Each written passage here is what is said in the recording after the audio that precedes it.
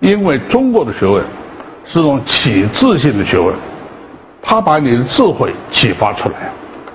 因此，我们想学国学，第一点啊，它是诗意的；第二点呢，它是为己的。为己的意思是什么呢？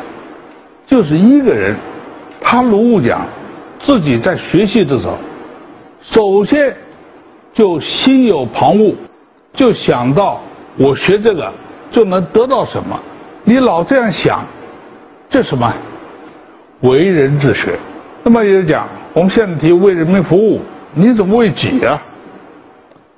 这个理解完全错误了。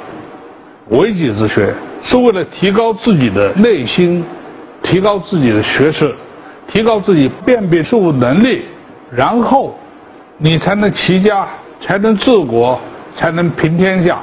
为己之学的终极目标是利他。而这个利他，那这是儒家的最重要的思想。抖音。